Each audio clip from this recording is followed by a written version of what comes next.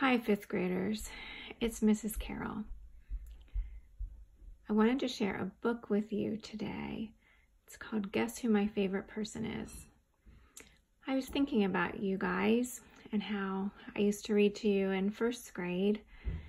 And that's one of my favorite things about teaching, is reading to all of you. And I realized that you'll be moving on to middle school and my other favorite thing is seeing how you grow and change as I see you in the hallways of Cedar Grove. And I will miss seeing you. So I was going to share this book. I used to read it when I taught fifth grade at the end of the year to my fifth graders. Because the other wonderful thing about being a teacher is that I have lots of favorite people, and lots of them are you. So this is Guess Who My Favorite Person Is by Byrd Baylor, illustrated by Robert Andrew Parker. Guess who my favorite person is?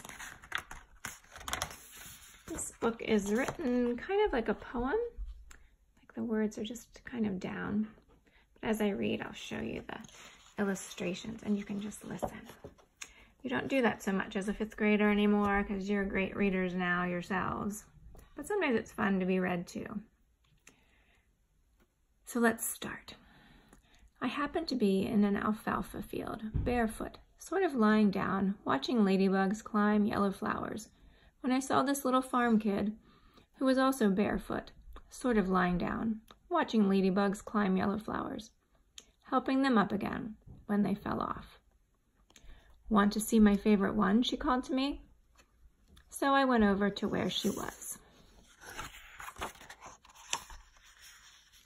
She pointed to a bug.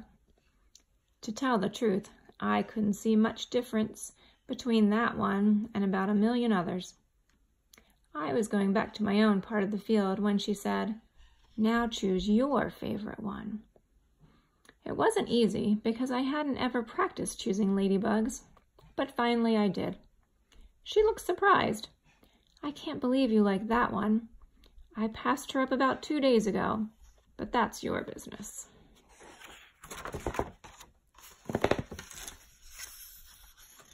For a while, we didn't talk at all. I stretched out and closed my eyes and just let the alfalfa be taller than I was. But, she said, what's your favorite thing, sleeping or being awake? Awake, I said. Then wake up, and we can play the tell what your favorite thing is game. I think we are already playing it, I said. She said, we are, and it's my turn. My favorite turn is first. So I said, go ahead. She said, tell your favorite color. I said, blue. And that's actually my favorite color too. But she said, See, you've already done it wrong. In this game, you can't just say it's blue. You have to say what kind of blue. So I said, all right, you know the blue on a lizard's belly? That sudden kind of blue you see just for a second, sometimes so blue that afterward you think you made it up? Sure, she said, I know that kind of blue. Then she told me hers. It was brown. Maybe I looked surprised because she said, not many people appreciate brown, but I don't care. I do. And the one I like the best is a dark reddish brown that's good for mountains and for rocks. You see it in steep cliffs a lot. I said, I know that kind of brown. Then it was my turn to ask. So I said, what's your favorite thing to touch?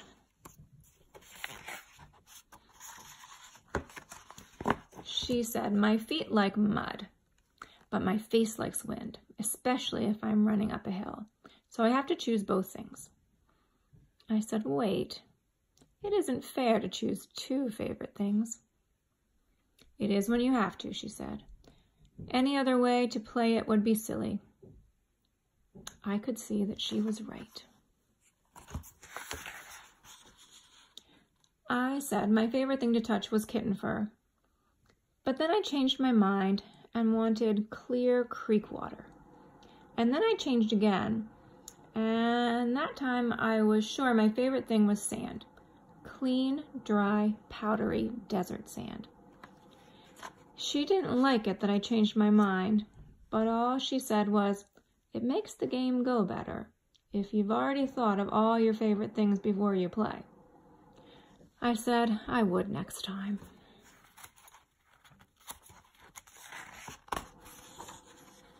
Then we chose our favorite sounds. She said hers was bees, but not just one or two. She said it takes about a thousand bees buzzing in all the fields around to make the kind of loud bee sound she likes.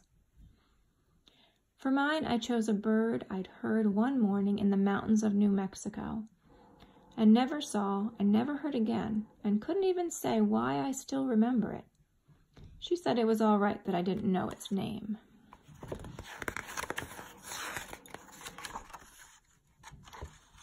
So we went on to what's your favorite place to live? She said her favorite place to live was in a tree. I said, doesn't it have to be someplace you really lived? She said, that's right, it does, and I've lived in lots of trees. She didn't say how long she lived in any tree. She lived in any tree, and I didn't ask. She said, or I said I knew my favorite place to live, but I wasn't sure it was fair to say because I hadn't really lived there yet even though I plan to. She said the rule is that it's okay if you're pretty sure you're going to live there someday. So I said, I am. It's in a cave with foxes. That's fair, she said. I think a tree is best for summer, but a cave would be all right for winter nights.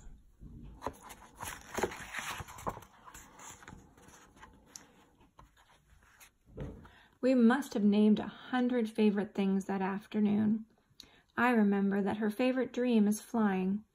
She said it is so easy in that dream, looking down on little hills and valleys, flapping her arms when she wants to go higher.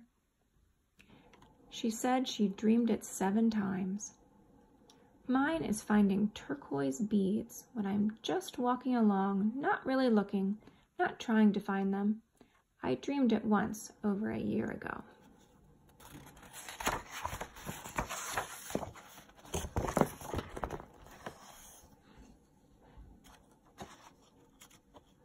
Her favorite thing to see moving is fish underwater.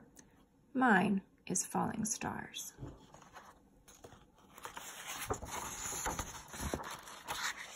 Her favorite thing to taste is snow and honey mixed a little more honey than snow. Mine is bread just baked at home, still warm.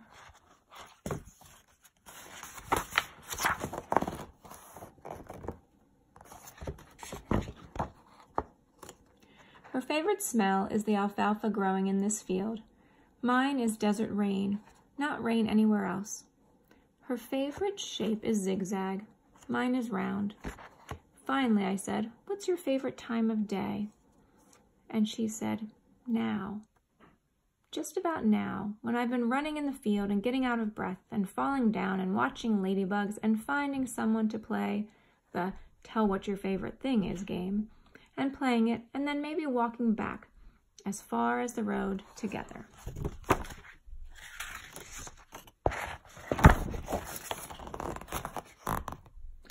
I was going to say sunrise is my favorite time of day, but when I thought about it, I wanted to choose now too. I wasn't sure she'd let both of us choose the same thing, but she was nice about it.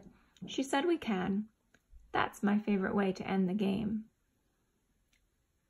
By then, it was getting late, so we walked back as far as the road together.